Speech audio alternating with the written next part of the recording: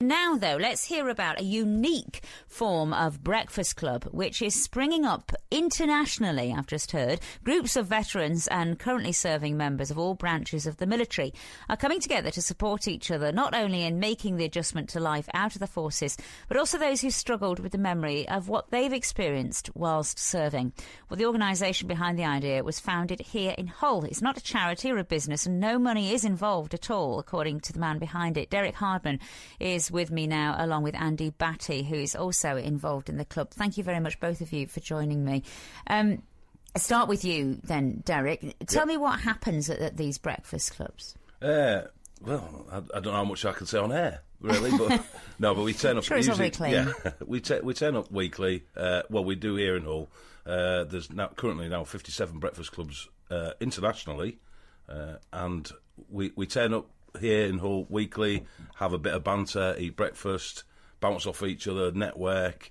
Uh, we all work in different trades and things nowadays, so uh, we we help each other out in that respect. So, and, and a lot of the other breakfast clubs all over the, the world now, as it turns out, uh, they have different meeting times. Some of them, I, I, mean, I even know one that meets in an afternoon on a weekday, but mm-hmm. Uh, that's entirely up to them. Because I, I, have always preferred, uh, although people I get messages seeking guidance. If I prefer them to be autonomous and make their own rules, but uh, the network's good. The fact that people can travel around the country and find a breakfast club.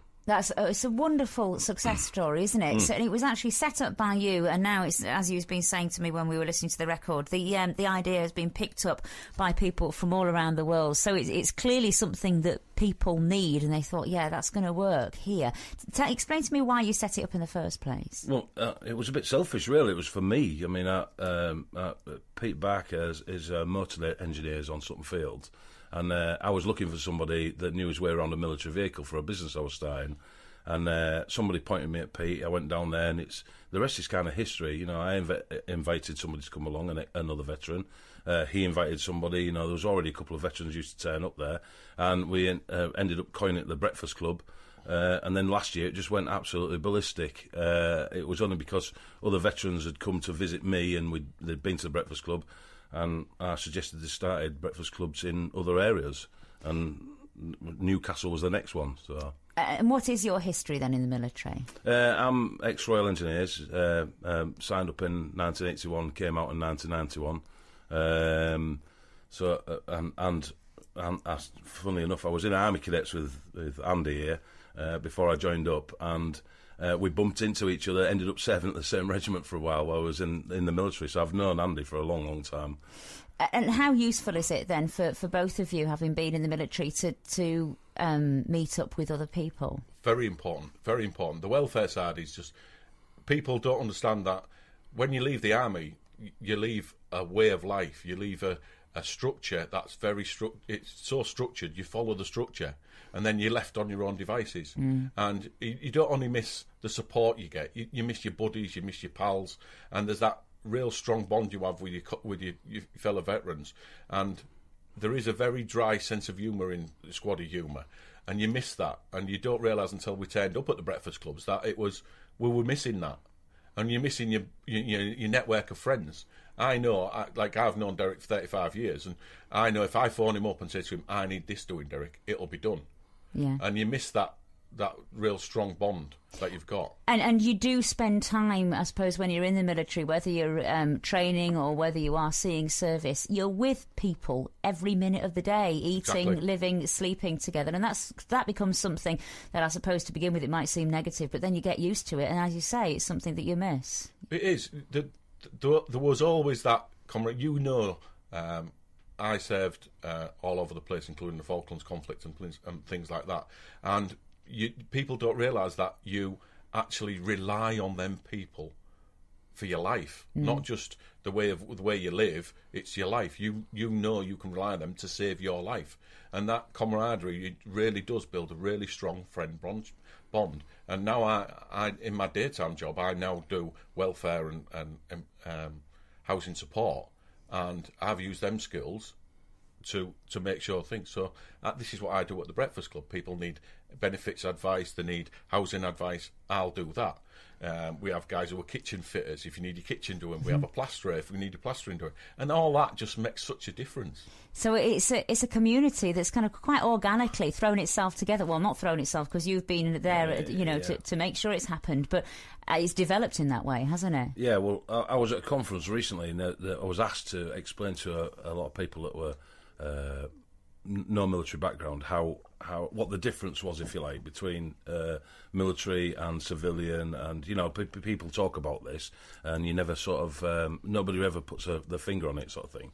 But um, the military, when you join up, you go through your, your basic training, etc., in whatever service.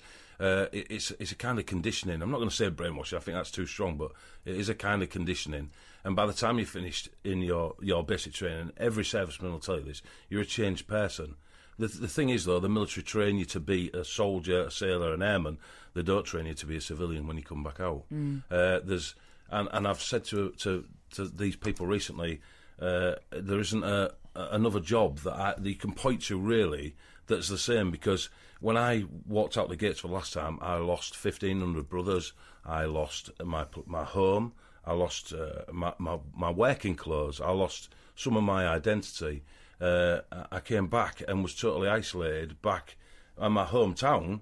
Uh, the, the friends that I had before I joined up uh, long since disappeared into the woodwork, and and uh, you don't realise at the time when you leave what a terrible, awful transition it becomes. You know, going from military life into civilian life. How much do you think your family understood about that?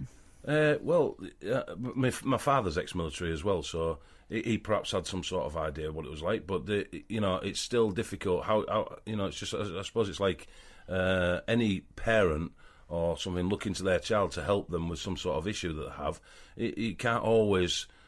You know the generation gap, etc. You can't always put your finger on it. You can't always be that helpful, and, and a lot of the time, military personnel, in fact, most of the time, I would say, would be too proud to ask for help anyway.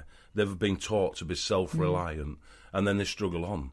But the the Breakfast Club, uh, uh, I think for a lot of people, the more I get involved in it, the more important I realise it, it, it's become for the for the veterans because it's a support network. It's that uh, ne- network of camaraderie that, that they lost that was fundamental to them when they was in. Yeah, and by making it a great breakfast club, I suppose it's an acceptable form of help, isn't it? It's uh, That's it. It's less formal than They can turn up if they want to. They don't have to turn up if they want to. It's just it's just completely informal. There's no fees, no you know, there's no registration. You know, we, we in fact we've got a couple of new guys at the the breakfast club, the BBC we call it ironically, Right, yeah. Barker's Breakfast Club. Yeah, they- you can call it that. That's yeah, yeah. if you don't mind us stealing the name, but we thought it was kind of funny at the time, you know, being at Barker's Motor Yeah. Engineers, with Barker's Breakfast Let, Club. see which one lasts longer. um, and, I mean, you were saying, Dale, the transition from soldier to civilian, that nobody really trains you to be uh, a civilian, which is a really interesting point. I mean, that's a that's a big gap, really, isn't it? And it's a massive industry. It's been around for decades. Yeah. You know, why haven't they done that yet? Well, I have no idea, but if you think about it, most military personnel join the military from school, so they're going from uh, living in their parents' home, where all bills are paid, where everything's done for them. They go straight into the military. Uh, when you get paid in the military, eh, all your expenses are taken out before you even see money.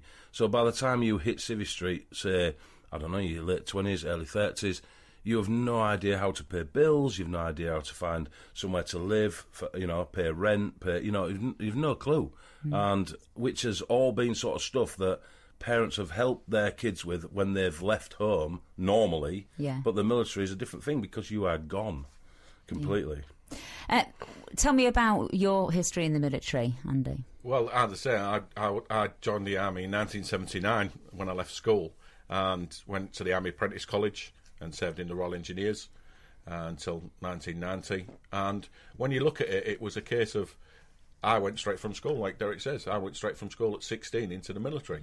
And I served uh, in Northern Ireland, and then you look at, uh, you know, Cyprus and, and Germany and, and other places, you know, the Falklands. I, was, I served in the Falklands a few times. It was one of them things where you just go and it's your job to take to put your life on the line. That's what you, you're trained to do. You're trained to put your life on the line for for your country, and that's what you do willingly. without a doubt. And then when you come out, uh, there's a lot to be said for. We talk about a lot of, about PTSD and stuff like that. A lot of the time, I look at that as making the adjustment. It's hard to make that adjustment back from being. we- We're adrenaline junkies. We're trained to be adrenaline junkies. We put our lives on the line every day when we're in the military, and then you come out and what do you do? You're bored. I went from job to job to job, trying to find a job that stimulated my mind and also challenged me because I couldn't find it. So it must have been your approach to the jobs that changed rather than the jobs themselves when you did exactly, finally exactly. something. As I've, got, as I've got older and older, you know, I'm in my fifties now, and and as I've got older, I've realised that you know that buzz in there. So, but I meet the guys on the Breakfast Club, and we do we do daft, stupid things together, and and you know just to tr- try and give you that adrenaline buzz. And there's a lot to be said for the support, like. Both uh, Derek, especially, is involved in the whole veteran support centre on Beverley Road, and they do quite a lot with the looking at accommodation, helping people to move forward. What we do is look at the things that aren't there the banter, the friendship, the buddy buddy system, as we used to call it in the army. You know, when we used to put our gas masks on and stuff like that, we used to call it the buddy buddy system. So your mate checked you out, so you knew your mate was checking you to make sure you could survive. Yeah. So that's what we do. We offer the buddy buddy system, the friendship. You know, knowing that somebody's there. So they're allegedly all listening back there. Hopefully they haven't switched channels by now. Once you when you once you left them. And, I hope they haven't eaten my breakfast. That's all. yeah, they've saved you some, kept it warm. Paint me a picture of what's happening back there. Then, have we got a, a butty van then serving No, bacon? no, no. We've got we've got uh, somebody's taken a list. No, uh, Nora started it before we left Right. uh, of what everybody's having: bacon and eggs, egg, sausage, egg, Andy, whatever. yeah. Oh, sorry. Yeah, Nora, Nora Batty. Yeah, Yeah. from only uh, from Last of Summer Wine. Mm-hmm. Uh, but yeah, um, they, they're taking a list. Uh, there's a local cafe that um, usually puts our sandwich order Oh, together. they deserve a mention. Who's the local Oh, it's uh, Lakeside. Lakeside. Yeah, Right, okay. yeah. And uh, Donna in there, she she puts all our breakfast together. We've negotiated a breakfast with them, especially for us, yeah. with extras on. with extras on. Yeah. It's just such a wonderful idea, Yeah. and it's and it's a great success story to hear that people have picked up on the idea around the world. How does that make you feel? Well, I, I'm quite humbled by it, really. To be fair, I, I, I mean, uh, as I say, the longer it goes on, the more important I realise it is becoming for a lot of veterans. Uh, uh, can I, have I got time to give you a, a short story about Certainly, something? yeah. I got contacted by a, f- a female administrator from one of the other breakfast clubs. Uh, it'd be about a month ago now. About a uh, a new lad she'd got turned up, and he said, "Oh, he was his ex para reg, you know, para, uh, paratrooper." So. Uh, and and she said that the, during the breakfast, I'd noticed he was sat at the far end of the table and his head was down. And she said I could see uh, tears dropping off the end of his nose. So I quietly went down there and put my arm round him and said, "Are you all right?" And he said, "I can't believe this." And she said, "What? What can't you believe?" He said, "I'm home." Mm. And and I, he was sat in a cafe having breakfast with Yeah. a few people, but he was home. Yeah, And that's that- how important it is to And, people. and that kind of, you know, it, it, that's that's kind of what it's all about, really. That, Yeah. that kind of sums it up. yeah, I, I bet you're tempted, aren't you, to get all these people from around the world and have a, one great big breakfast club. Wouldn't that be fun? Uh, yeah. Derek last week had attended uh, the Royal Engineers have what we call Sapperfest. And Sapperfest is organised once a year where a group of 700, 800 sappers get together for a big weekender. And it's uh, it's, a, it's an excuse to get drunk. Yeah. In a Uh, field. in a field. Yeah. And uh, we said one day we'll have a breakfast club one where we'll pull all the breakfast clubs together. Invite them all to come invite to a them all field somewhere. to a field somewhere and just do what we used to do in, in the military. Be friends, get drunk, have a laugh, Yeah. Blow off some steam. blow Yeah, some steam. what a wonderful idea. There's the Veterans Weekend, by the way, happening Oh, next we'll be weekend. Are there. you We'll involved in there. that? We'll Okay, that's there. at East Park, of course. We'll have a stand along with the whole Veteran Support Centre because they do. They're, they're one of the few military charities in the country that have actually accommodation for people, so they can actually accommodate homeless veterans. And we and we're going to be there sharing a stand with them and the QA Association. Right, so We'll if anybody would like armbands. to, actually, well, last time we went to the Veterans uh, Day, which was last year, my fella, who's, he's quite a tall bloke, and uh, the people from the Veterans Stand came up to him and said, "Are you an ex-military man?" I said, "Not at all. He's not at all. He's just really tall. Yeah. but he can pass for a soldier. I think, which, which I suppose is fairly handy in some some situations." um, Producer Steve has just said in my ear, "Ask him about the TV thing." I don't know what that means. We was on. Uh, we've been interviewed uh, for Veterans Forces TV. Forces TV. BFBS came Ah, down. okay. Yeah. yeah. Forces TV came down. Uh, they filmed us at our breakfast club because it was the first breakfast club. Interviewed us, and we it was about a five minute slot on on the television, which then all the breakfast clubs said people who were ex forces who've been watching Forces TV have started to come along, and it increased numbers. Oh, fantastic! So you know, we as we said, we we've got a, a, a, a web page with all the addresses of all the breakfast clubs on.